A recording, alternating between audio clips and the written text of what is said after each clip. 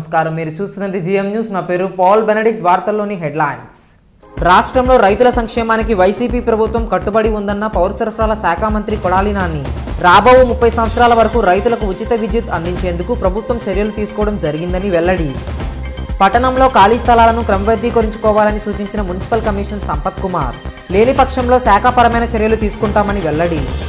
జనసేన నాయకుడు ఆర్కే ఆధ్వర్యంలో ఘనంగా వరల్డ్ ఫౌనిజం డే. పట్టణంలోని వివిధ సేవా కార్యక్రమాలు నిర్వహించిన జన సైనికులు. రాబోవు ముప్పై సంవత్సరాల వరకు ఎటువంటి కొరత లేకుండా రైతులకు ఉచిత విద్యుత్ అందించేందుకు ప్రభుత్వం చర్యలు చేపట్టడం జరిగిందని పౌర సరఫరాల శాఖ మంత్రి కొడాలి నాని పేర్కొన్నారు. ముప్పై ఏళ్ళ పాటు రైతులకు ఉచిత విద్యుత్ అందించేందుకు రాష్ట్ర ప్రభుత్వం అన్ని చర్యలు తీసుకుందని పౌర సరఫరాల శాఖ మంత్రి కొడాలి నాని తెలియజేశారు.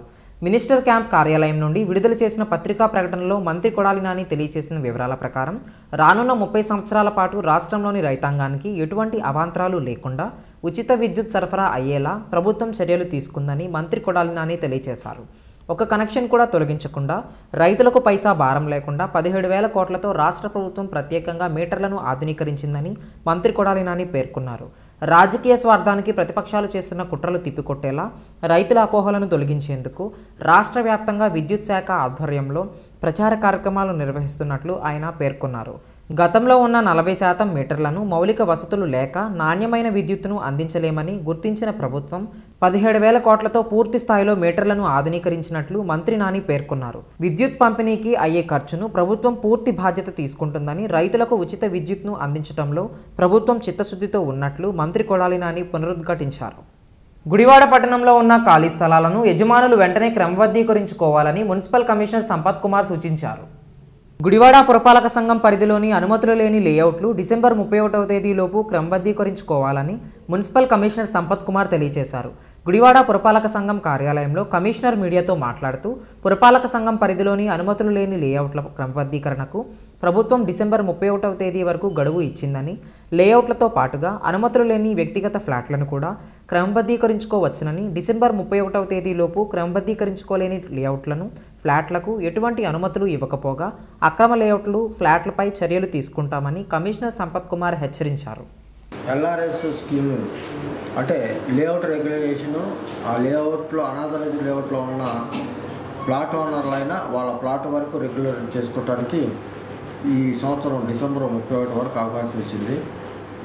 ఈ అవకాశాన్ని తప్పనిసరిగా అనాథరాజు లేఅవుట్లో ప్లాట్లు కొన్నటువంటి వాళ్ళు కానీ లేదా అనాథరైజ్ లేఅవుట్ మొత్తంగా రెగ్యులేట్ చేసుకోవడానికి అవకాశం ఉంది. ఈ అవకాశాన్ని వినియోగించుకోని పక్షంలో రాబోయే రోజుల్లో ఆ అనాథరైజ్డ్ ప్లాట్లో ఎటువంటి పర్మిషన్ ఇవ్వడం జరగదు. దీంతో పాటుగా ఈ బ్లాక్ రిజిస్టర్ అనేది ఒకటి సబ్ రిజిస్టర్ ఆఫీసులో ఏర్పాటు చేయడం జరుగుతుంది. ఆ లేఅవుట్లో ప్లాట్లు కొన్నటువంటి వాళ్ళు తిరిగి అమ్ముకోవడానికి కూడా అవకాశం ఉండదు. ఇక ఈ ప్లాట్లు అట్లా ఉండిపోవాల్సిందే. కాబట్టి ఖచ్చితంగా రెగ్యులర్ చేసుకోవడానికి ప్రభుత్వం అవకాశం ఇచ్చింది కాబట్టి డిసెంబర్ ముప్పై ఒకటి వరకు అవకాశం ఉంది. కాబట్టి ఈ అవకాశాన్ని వినియోగించుకొని అనాథరిత లేఅవుట్లో ప్లాట్ కొన్నటువంటి వాళ్ళందరూ రెగ్యులర్ చేసుకున్నట్లయితే భవిష్యత్తులో వాళ్ళు ప్లాట్ తిరిగి అమ్ముకోవటానికైనా లేదు బిల్డింగ్ ప్లాన్ తీసుకొని కన్స్ట్రక్షన్ చేసుకోవడానికైనా అవకాశం ఉంది. కాబట్టి తప్పనిసరిగా ఈ అవకాశాన్ని వినియోగించుకోవాల్సిందిగా పట్టణ ప్రజలకు తెలియజేస్తున్నాం. వరల్డ్ పవనిజం డేను పురస్కరించుకుని గుడివాడ జనసేన నాయకులు ఆర్కే ఆధ్వర్యంలో జన సైనికులు వివిధ సేవా కార్యక్రమాలు నిర్వహించారు. వరల్డ్ పవనిజం డే కార్యక్రమాలను గుడివాడ జనసేన నాయకులు ఘనంగా నిర్వహించారు. వరల్డ్ పవనిజం డే సందర్భంగా జనసేన నాయకులు ఆర్కే ఆధ్వర్యంలో పలు కార్యక్రమాలు నిర్వహించారు. ఈ సందర్భంగా ఆర్కే కార్యాలయంలో జనసేన నాయకులు పవనిజం డే కేక్ కట్ చేశారు. అనంతరం రోడ్డు ప్రమాదంలో గాయపడిన పేద కార్మికునికి నిత్యావసర సరుకులను నాయకులు పంపిణీ చేశారు. ఇబ్బందుల్లో ఉన్న సాటివారికి సాయపడుతూ సమాజ అభ్యున్నతికి తమ శక్తి మేరకు సేవ చేయడమే పవనిజం అని జనసేన నాయకులు ఆర్కే పేర్కొన్నారు. ఈ కార్యక్రమంలో జనసేన నాయకులు చరణ్ అయ్యప్ప తదితరులు పాల్గొన్నారు. ఈరోజు వరల్డ్ పవనిజం డే సందర్భంగా పవన్ కళ్యాణ్ గారి అభిమానులకు అలాగే జనసేన కార్యకర్తలకు జనసేన నాయకులకి అందరికీ వరల్డ్ పవనిజం డే శుభాకాంక్షలు తెలుపుతూ అలాగే ఈరోజు గుడివాడ పట్టణంలో వరల్డ్ డే సందర్భంగా కేక్ కట్ చేసి అసలు వరల్డ్ పవనిజం డే అంటే పవన్ కళ్యాణ్ గారు సినీ ఫీల్డ్కి వచ్చిన రోజు అక్టోబర్ లెవెన్త్ వచ్చిన రోజు ఆ రోజు గురించి మేము పవన్ కళ్యాణ్ గారికి అభిమానులుగా ఉండి ఎంతో ఆడంబరాలు కాకుండా ఆయన పేరు మీద వరల్డ్ పౌండేషన్ డే అని స్థాపించి వరల్డ్ పౌండేషన్ డే అంటే సమాజానికి దేశానికి ఉపయోగపడేదే పవన జిండే అని పవన్ కళ్యాణ్ గారు చెప్పడం జరిగింది. అదే యోజనలోనే ఈ గుడివాడ పట్టణంలో ఈరోజు కేక్ కట్ చేసి నిరుపేద కుటుంబాలకి ఈరోజు నిత్యావసర సరుకులు కూరగాయలు బియ్యం ఇవ్వడం జరిగింది. అలాగే పవన్ కళ్యాణ్ గారి ఆలోచనలు సిద్ధాంతాలు. ఈరోజు పార్టీ పెట్టకముందే మేము పవన్ కళ్యాణ్ గారి అభిమానులుగా ఉండి ఎంతోమందికి సేవా కార్యక్రమం చేసుకుంటూ ముందుకు వెళ్తున్నాం అలాగే పవన్ కళ్యాణ్ గారు రాజకీయాల్లో వచ్చినా కూడా ఇంకా సేవా సక్రమంతో జనాల మధ్యకి వెళ్ళి సమస్యలు తెలుసుకుని ఎన్నో పోరాటాలు చేసి పవన్ కళ్యాణ్ గారికి అనుచ అనుచరులుగా మేము ఉంటామని మనస్ఫూర్తి తెలియజేసుకుంటున్నాము. ఇంకా ఈ గుడివాడ పట్టణంలో జనసేన పార్టీని బలోపేతం చేస్తే మనస్ఫూర్తిగా తెలియజేసుకుంటూ సెలవు తీసుకుంటున్నాం. జై జనసేన జై హింద్. థ్యాంక్ యూ ఈరోజు కృష్ణా జిల్లా గుడివాడ నియోజకవర్గంలో వరల్డ్ పవర్నిజం డే కార్యక్రమానికి మన ఆర్కే అన్నయ్య గారు కనెక్ట్ చేయడం అనేది జరుగుతోంది. ఆయన ఆధ్వర్యంలో కేకును కట్ చేసి ఇలా జన సైనికులతో నిరాడంబరంగా సంబరాలు జరుపుకుంటున్నాం. వరల్డ్ పవనిజం డే సందర్భంగా సైనికులకు కానీ నాయకులకు కానీ ప్రజలకు కానీ తెలియజేయమనగా మనం ఈ సమాజంలో ఎంతో ఇబ్బ ఇక్కట్లు ఏర్కొట్టిన కష్టాలని కన్నీళ్ళని తుడిచే అనేది అప్పచెప్పిన మన పవన్ కళ్యాణ్ గారు ఒక బాట ఏర్పాటు చేశారండి.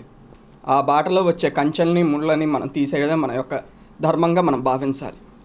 నేడు ఈ సమాజానికి ఆయన చేసిన కృషి వల్లే ఈ అలా సైనికుల్లా ఏర్పడి పేద ప్రజల కన్నీళ్ళు తొడవడంలో ఎంతో నివృత్తమై వాళ్ళు పంచే ఆనందానికి వాళ్ళు ఇచ్చే ఆశీస్సులకి మేము దాసోహలం అండి ఎల్లప్పుడూ. నిన్న చిన్నపాటి సంఘటన ఒకటి జరిగిందండి. మన కృష్ణా జిల్లా గుడివాడ నియోజకవర్గంలో ఒక లారీ డ్రైవర్ అయిన వెంకటేశ్వరరావు గారని ఆయనకి చిన్నపాటి గాయమై కాలుకి ఉపాధి కోల్పోయి చాలా కష్టాలు పడుతున్నాడు.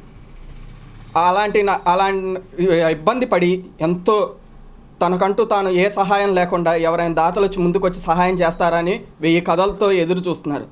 ఆ దంపతులకు పిల్లలు లేరు. అలాంటి సమయాల్లో మొట్టమొదటిసారిగా గుర్తొచ్చిన వ్యక్తి మన ఆర్కే అన్నయ్య గారండి.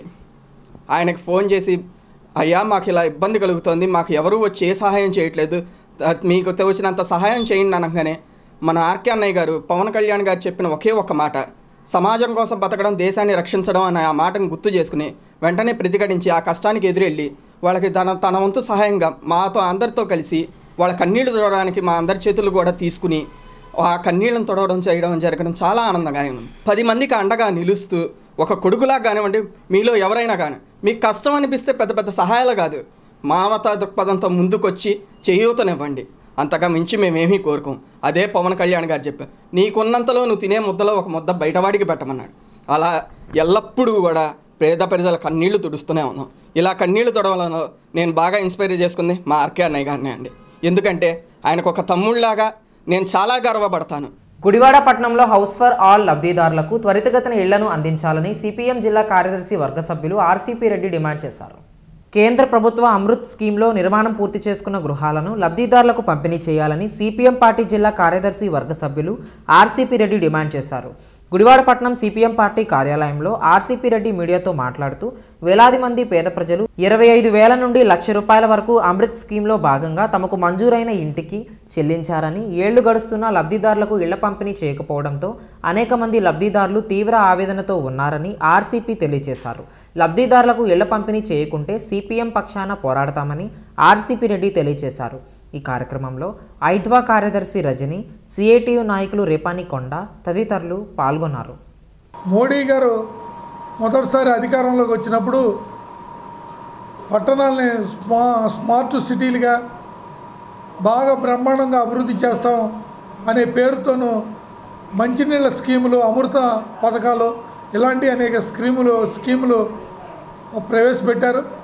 ఆ రోజున తెలుగుదేశం ప్రభుత్వం బీజేపీతో అధికారంలో ఇద్దరు పాలు పంచుకున్నారు కాబట్టి రాష్ట్రానికి అనేక పథకాలు తీసుకురావడానికి ప్రయత్నం ఆ రోజు టీడీపీ ప్రభుత్వం చేసింది.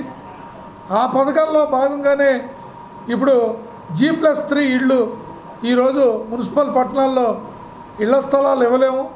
గతంలో ఇచ్చిన ఇళ్ళ స్థలాలు ఉన్నాయి. ఆ ఇళ్ళ స్థలాల్లోనే జీ ప్లస్ త్రీ కడుతున్నాం. బ్రహ్మాండమైన ఇల్లు కడతాం. డబుల్ బెడ్రూమ్స్ ప్రతి కుటుంబానికి సొంత ఇల్లు కళ నిజమవుతుంది అని మన గుడివాడ పట్టణంలో కూడా గతంలో వాస్తవంగా చూస్తే గుడివాడ పట్టణంలో రాజశేఖర రెడ్డి గారు అధికారంలో ఉన్న కానించి గుడివాడలో ఇళ్ళ స్థలాలు ఒక పెద్ద పార్సులాగా తయారవడం అప్పుడు కూడా రాజశేఖర రెడ్డి గారు చెప్పారు నేను సంవత్సరానికి ఒక కొన్ని గ్రామాలను ఎంపిక చేసి కొన్ని వార్డులను ఎంపిక చేసి ఇళ్ళ స్థలాలు ఇస్తానని.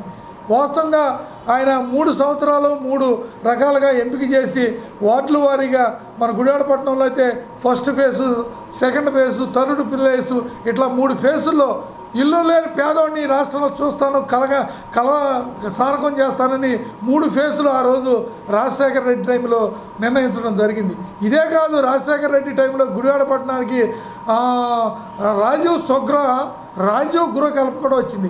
రాజీవ్ గృహకల్ప పేదవాళ్ళకి రాజీవ్ స్వగ్ర మధ్యతరగతి వర్గానికని రెండు స్కీమ్స్ వస్తే ఆ రోజు మన గౌతమి కాన్వెంట్ గౌతమి స్కూల్ దగ్గర దాని వెనకాల ఉన్న శ్రీకాళహస్తి కాలనీ భూముల్ని మేము రాజీవ్ స్వగ్రాకి ఇస్తానని పేదవాళ్ళ దగ్గర పన్నెండు వందల యాభై రూపాయలు కట్టించుకుని కుదర మ్యాప్ కూడా వేసి కలెక్టర్ అప్రూవల్తో ఎనగాల పటం కూడా వేసి దానికి రోడ్లు అవన్నీ వేసి పేదవాళ్ళ దగ్గర పన్నెండు వందల యాభై రూపాయలు కట్టించుకుని కుదరదు కుదరదు గౌతమి దగ్గర ఇవ్వడానికి ఇల్లు ఆ రోజు గౌతమి దగ్గర ఏంటి? అదంతా బాగా రిచ్ ఏరియా కాబట్టి అక్కడ ఇవ్వడానికి ఇల్లు లేదని ఆ రోజు రాజకీయ నాయకులు వెనక్కొట్టి దాన్ని తీసుకొచ్చి మన బిళ్ళపాడులో ఉన్న ల్యాండ్ సీలింగ్ భూమిని ఇళ్ళ స్థలాలుగా అనౌన్స్ చేస్తే చాలామంది ఆ పన్నెండు వందల యాభై రూపాయలు వెనక్కి తీసుకున్నారు. ఈ జీ ప్లస్ త్రీ ప్రభుత్వం తక్షణం కంప్లీట్ అయిన ఇళ్ళు. ఇప్పటికే కంప్లీట్ అయిపోయి సంవత్సరం అయిపోయింది. గుడివాడపట్నంలో మూడు వేల ఇళ్ళు కంప్లీట్ అయిపోయినాయి. ఎప్పటికి ఇళ్ళ స్థలాలు ఇస్తారు. అది నేను జగన్మోహన్ రెడ్డి గారిని కానీ వైఎస్ఆర్సీపీ ప్రభుత్వాన్ని కానీ క్వశ్చన్ ఇస్తా ప్రశ్నిస్తున్నాం. ఎప్పటికి మీరు ఇళ్ళ స్థలాలు ఇస్తారు? ఏ వాళ్ళు తెలుగుదేశం వాళ్ళు ప్రారంభించిన కంప్లీట్ అయిపోయి మీరు రిబ్బన్లు కట్ చేసినప్పుడు ఇళ్ళు ఎందుకు ఇవ్వలేరు? ఈ సొమ్ము చంద్రబాబు నాయుడుది కాదు. సెంట్రల్ గవర్నమెంట్ ప్రతి ఇంటికి లక్ష యాభై వేలు ఇచ్చింది. రాష్ట్ర ప్రభుత్వం లక్ష యాభై వేలు ఇచ్చింది. వాళ్ళు ఎవరికాళ్ళ లబ్ధిదారులు యాభై వేలు కట్టిన వాళ్ళు ఉన్నారు లక్ష రూపాయలు కట్టిన వాళ్ళు ఉన్నారు ఐదు వందలు కట్టిన వాళ్ళు ఉన్నారు. ఎప్పుడు ఇళ్ళ స్థలాలు ఇస్తారు? ఇవ్వడం సాధ్యమవుతుందా? నేను ఈ మధ్య అధికారులని వాళ్ళని కలిసినప్పుడు అధికారులు చెప్పింది ఏంటంటే మొత్తం ఆ ఎనిమిది వేల తొమ్మిది వందల పదమూడు ఇళ్ళు కంప్లీట్ అవ్వాలి అంటే వార్తలు ముగించే ముందు ముఖ్యాంశాలు మరోసారి. రాష్ట్రంలో రైతుల సంక్షేమానికి వైసీపీ ప్రభుత్వం కట్టుబడి ఉందన్న పౌర సరఫరాల శాఖ మంత్రి కొడాలి నాని రాబో ముప్పై సంవత్సరాల వరకు రైతులకు ఉచిత విద్యుత్ అందించేందుకు ప్రభుత్వం చర్యలు తీసుకోవడం జరిగిందని వెల్లడి. పట్టణంలో ఖాళీ స్థలాలను క్రమబద్ధీకరించుకోవాలని సూచించిన మున్సిపల్ కమిషనర్ సంపత్ కుమార్ లేని పక్షంలో శాఖాపరమైన చర్యలు తీసుకుంటామని వెల్లడి. జనసేన నాయకుడు ఆర్కే ఆధ్వర్యంలో ఘనంగా వరల్డ్ ఫౌండిజం డే పట్టణంలోని వివిధ సేవా కార్యక్రమాలు నిర్వహించిన జన సైనికులు. ఈ వార్త ఇంతటితో సమాప్తం. నమస్కారం.